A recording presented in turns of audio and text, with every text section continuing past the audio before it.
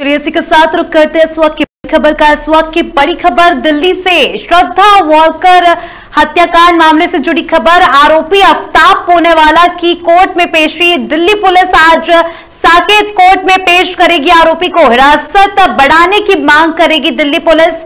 आफ्ताब अपने बयान बदल रहा है। जैज में सहयोग नहीं कर रहा है आफ्ताब दिल्ली पुलिस को नार्कोटेक्स की ज़रूरत है।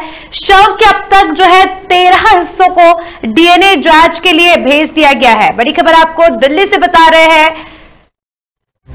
श्रद्धा वॉकर हत्याकांड से मा, के मामले से जुड़ी ये बड़ी खबर है। आरोपी आफ्ताब पूनावाला की कोर्ट में पेशी है। दिल्ली पुलिस आज साकेत कोर्ट में पेशी करेगी।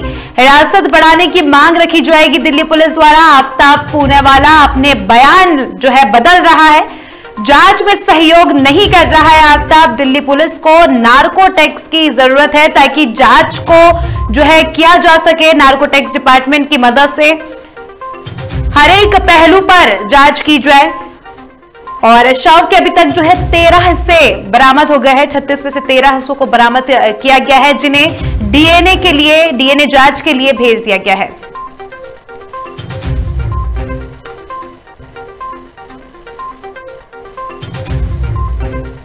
बता दें कि श्रद्धा वॉकर हत्याकांड मामले से जुड़ी आपको खबर हम बता रहे हैं।